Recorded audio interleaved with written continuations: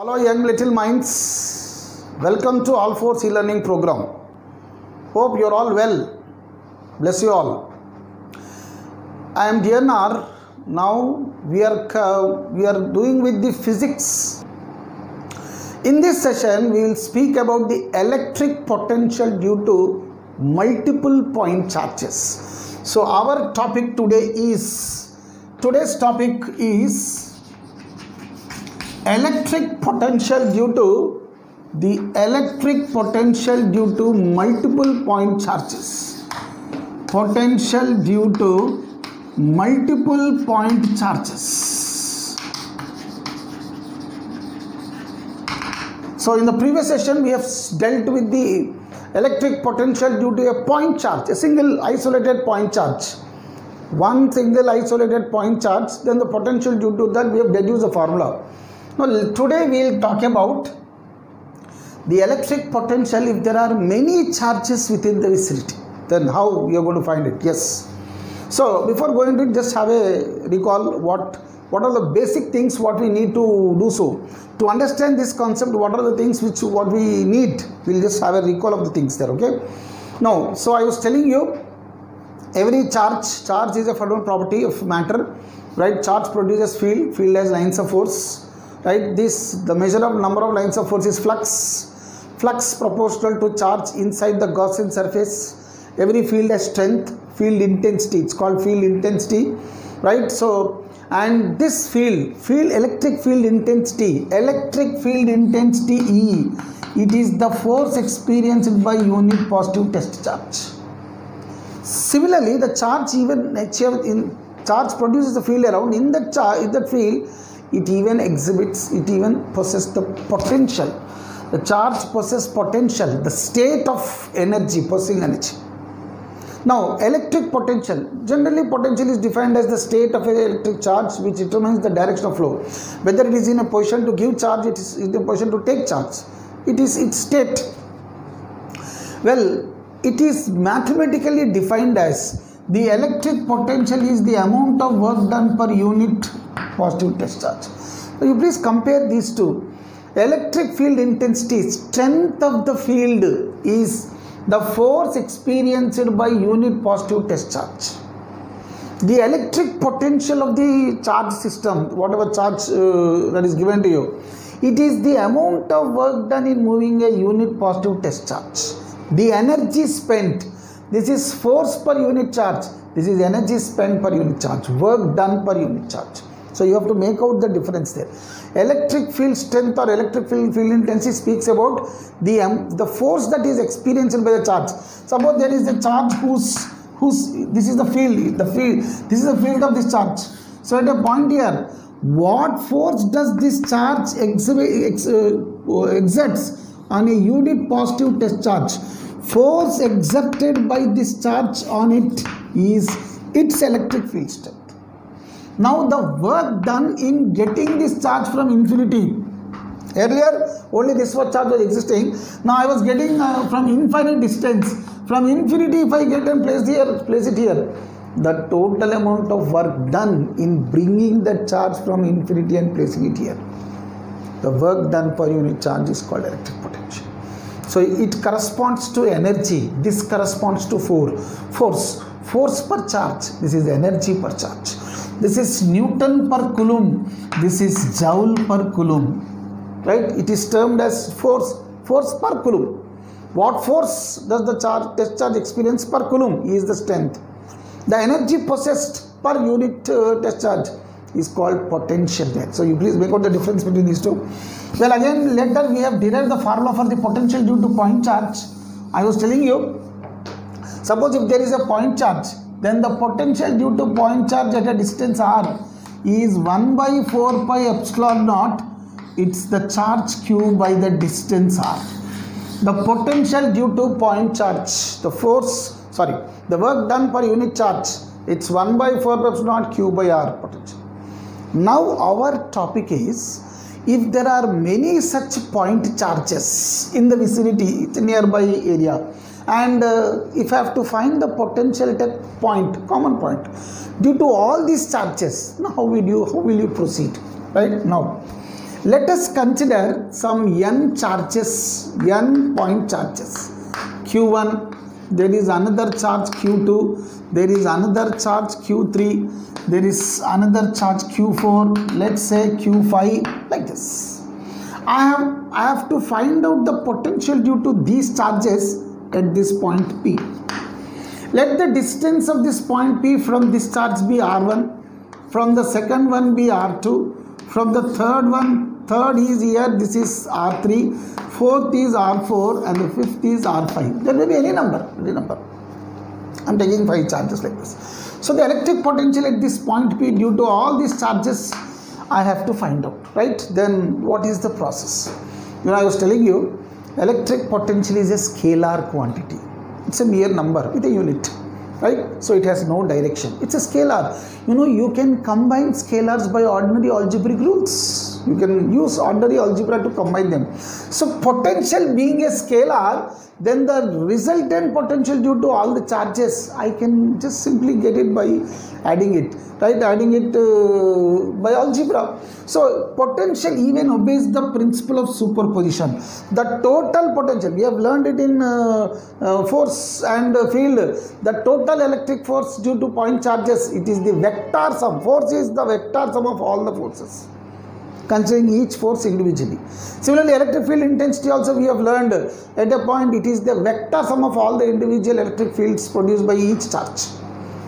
Here, this being a scalar, it's a scalar. So the total potential is the algebraic sum of all the individual potentials when you consider them individually. Right? Suppose if the potential due to produced due to the first charge be V1, potential due to the second charge be V3, third is uh, second is V2, third is V3, n charges it is Vn then according to the principle of superposition so the resultant potential is the algebraic sum. The potential is a scalar. Just you can add them by simple algebra, right? So it is the algebraic sum of sigma i1 to in. It is vi. It is just simply the scalar sum of all the individual potentials. So the resultant potential is sigma, it is summation, first term to nth term, right? How, how, any number of uh, potentials there, any number of charges it is the algebraic sum of all the potentials like this. So V1 plus V2 plus V3 dot dot dot dot Vn just simply the algebraic sum of.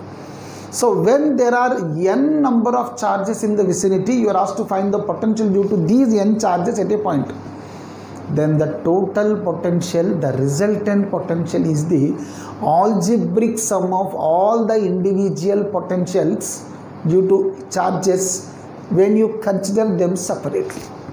It is the algebraic sum of all the potentials. Now, let us take, for example, at this point, now due to charge q1, first what shall we do is, let's forget all the remaining charges. Imagine only q1 being there. Now, so then if q1, then the potential due to q1 at this point at a distance r1, we know the electric potential due to a point charge, any point charge q at a distance r, here the formula is 1 by 4 epsilon q by r. The definition is work done per unit charge. So the potential is 1 by 4 epsilon q by r, right? So forget all these charges. Let's take only q1. Then due to q1, the potential here, let it be v1.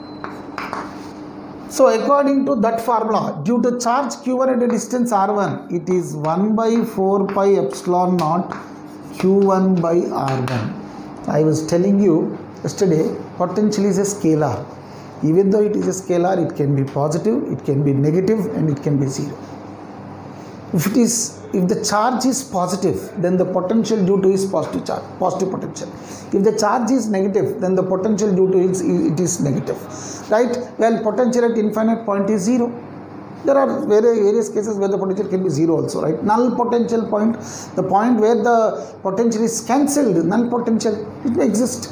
So therefore, so potential can be positive, negative or zero. For positive charges, potential you have to take it as positive. For negative charges, you have to take it as negative. So irrespective, according to its respective charge, you should take the potential so v1 if it is positive take plus if it is negative take minus. It is this is now forget q1 let's take q2 let let's suppose there is only q2 charge right? The potential here. According to the formula there v 1 by 4 epsilon q by r. So therefore v2 is equal to 1 by 4 pi epsilon naught. Again plus or minus q2 by r2 you know for positive you should take plus for negative you should take minus.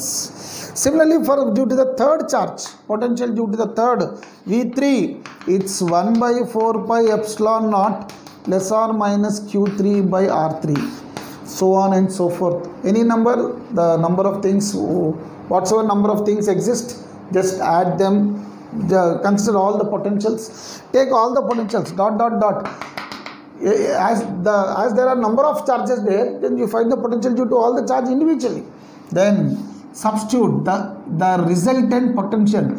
So according to the principle of superposition the total potential due to all the individual charges is the algebraic sum of all the individual potentials. So the total potential is v1 plus v2 plus v3 dot dot dot appear mind you if it is positive charge take plus. negative charge take minus. In fact you have to take this as v1 if it is plus you have to it is either plus or minus v1 plus of plus or minus v2 plus of plus or minus v3 individual it is for positive potential take it plus. For negative potential take it minus. So therefore the resultant potential vr is equal to please substitute v1 for positive charge take plus for negative charge take it as minus. It is 1 by 4 pi epsilon naught plus or minus q1 by r1 this is v1 plus. Potential due to the negative charge. So 1 by 4 pi epsilon naught plus or minus q2 by r2 then similarly v3 1 by 4 pi epsilon naught plus or minus q3 by r3 right this. So this way as many number of charges those many terms nth one potential due to nth 4 pi epsilon naught plus or minus qn by rn.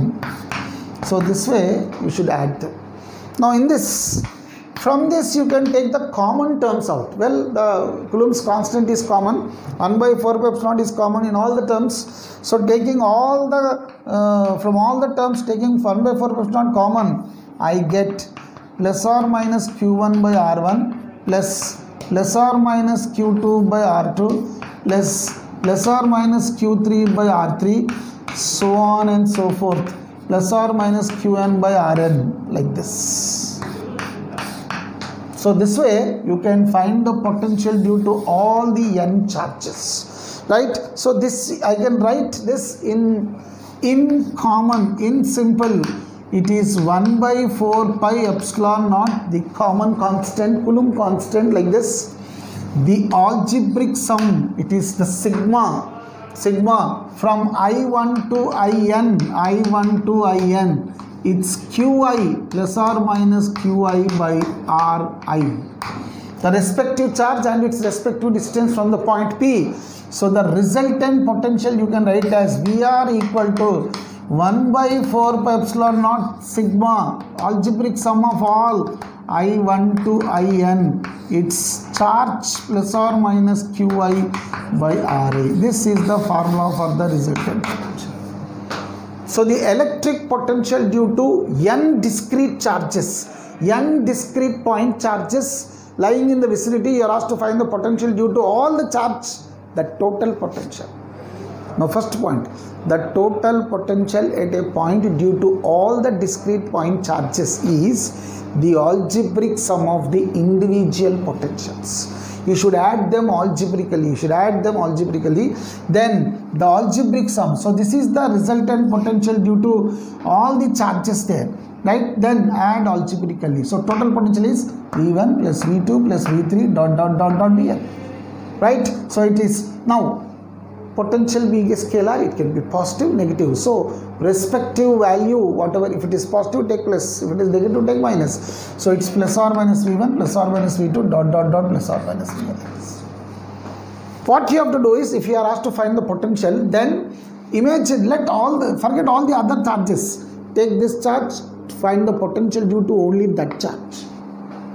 If only that charge exists then what would be the potential? So the potential is 1 by 4 not plus or minus q1 by r1. If the similarly the second, third, so on, you take as if you consider as if, as if only that charge is existing, forget the remaining. Now apply the potential due to point charge formula. Then the total potential. So potential due to first one q1 by r1, potential due to second one q2 by r2, third q3 by r3. For nth charge qn by rn like this. Then the total potential is the algebraic sum. Substituting these things in this V1 1 by 4 epsilon plus or minus Q1 by R1 V2 Q2 by R2 V3 Q3 by R3 take the constant out 1 by 4 pi epsilon naught out.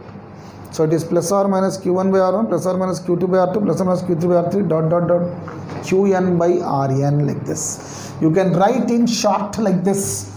The resultant potential due to n discrete charges Vr it is 1 by 4 pi epsilon this is a common constant. Sigma the algebraic sum of i1 to n. The the number of terms existing you have to take so many the respective number of terms. So it's plus or minus qi by ri. So sigma i1 to in this this way it is. So the total potential due to n different discrete charges is equal to this well in this one again suppose if the positive potentials are more negative potentials if all are positive charges answer will be positive. If all are negative charges answer is negative. If the positive charge dominate then negative. Net charge net potential will be positive. Or the other way if the negative charges dominate the potential can be negative. If they sum up to zero right the potential can be zero also right? It can even exist zero potential due to all these charges also possible right? We'll take up the examples. So this way the potential due to n, dis, n discrete point charges can be found by the principle of superposition by taking the algebraic sum of all the individual potentials. It is the algebra scalar sum you know. Scalars can be added by simple algebraic rules so since potential is a scalar i'm just adding it algebraically. So the net potential is like this.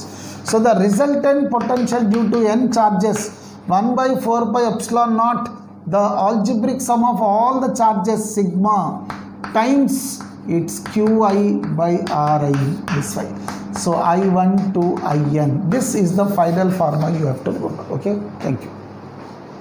Now similarly the same way you can even find out the potential difference between n discrete charges at two different points right? Here we have found the potential due to the electric potential due to n charges.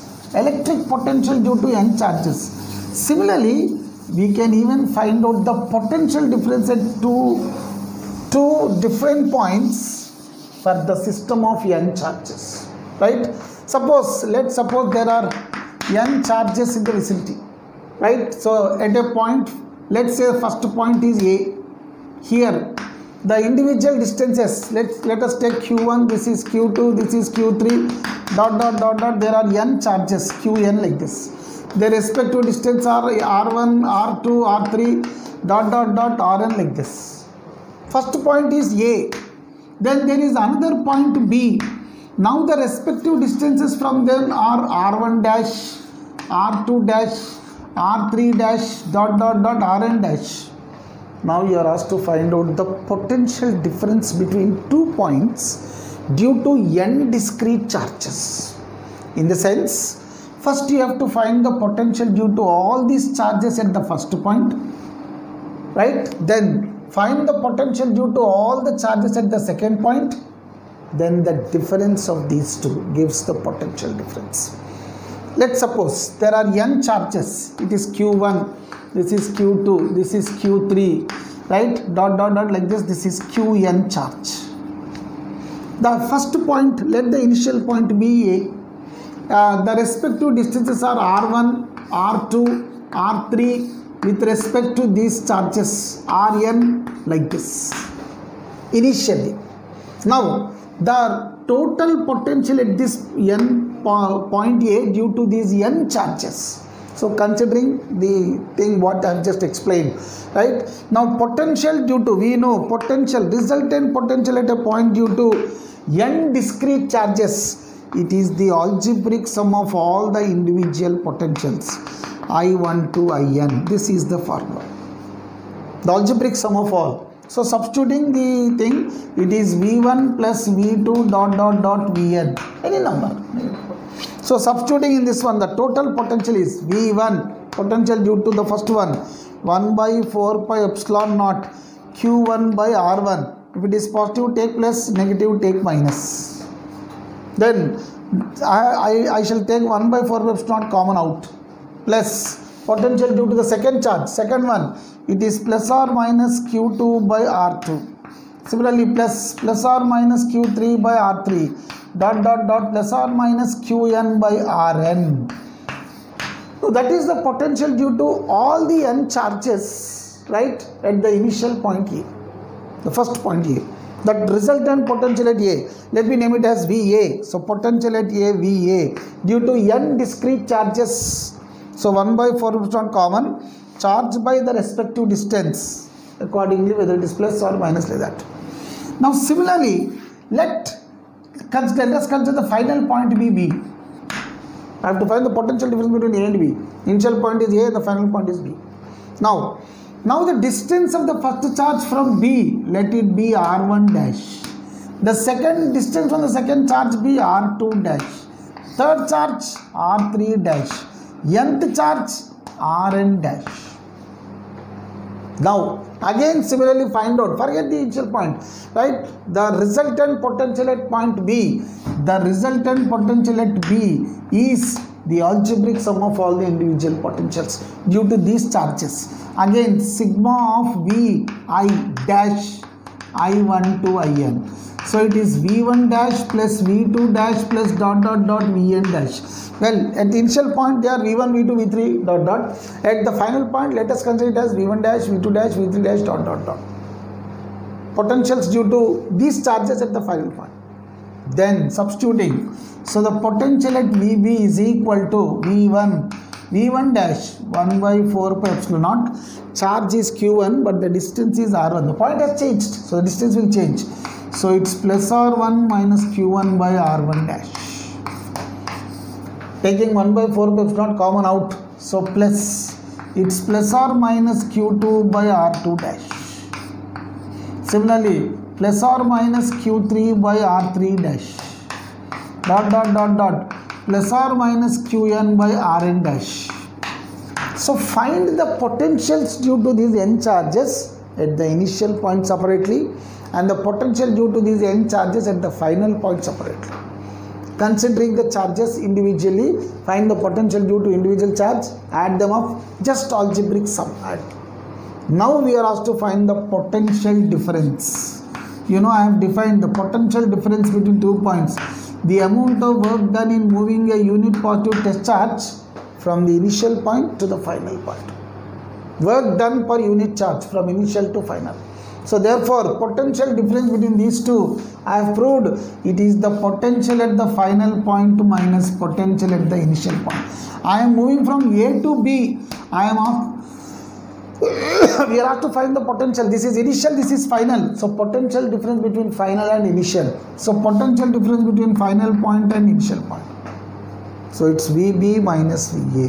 So this is equal to potential at b. It is 1 by 4 pi epsilon naught sigma of plus or minus q1 by r1 dash plus plus or minus q2 by r2 dash plus plus or minus q3 by r3 dash dot dot dot.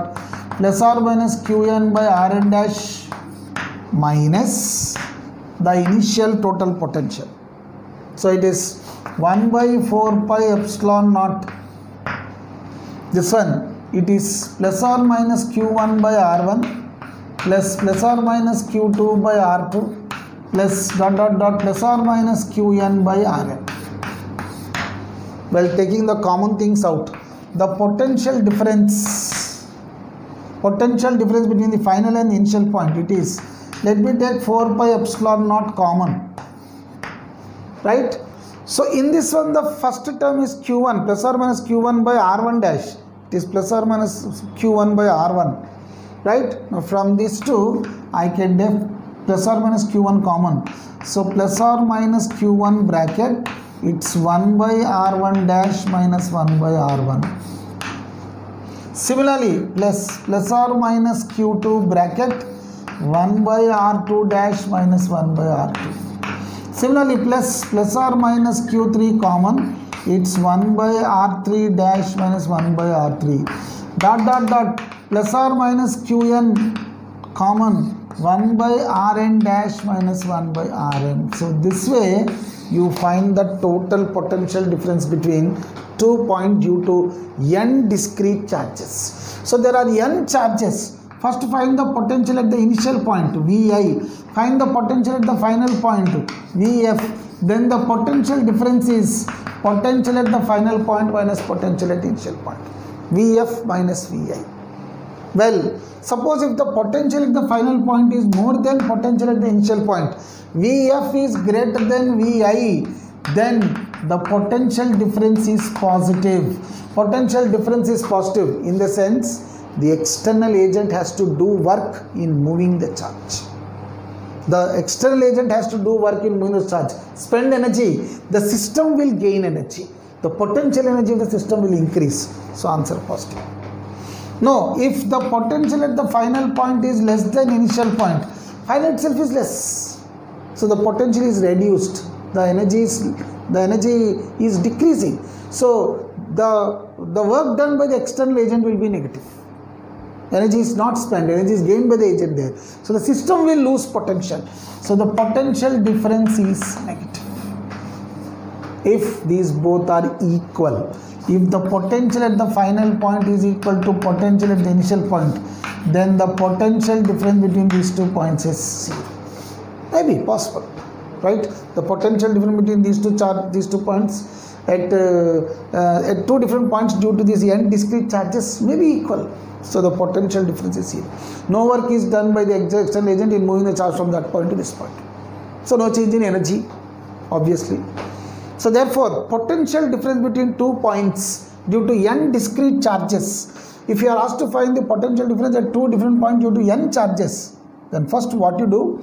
Consider the initial point. Find the potential due to these n charges at the initial point initially first right? So potential due to all the n charges at the initial point va initial point is a. So i am finding out the potential. We have just uh, just now we have derived what is the potential for the n charges. So it's 1 by 4 dot q1 by r1 q2 by r2 dot dot dot. Then similarly find the potential at the final point vb then the difference is so this way you get. Thank you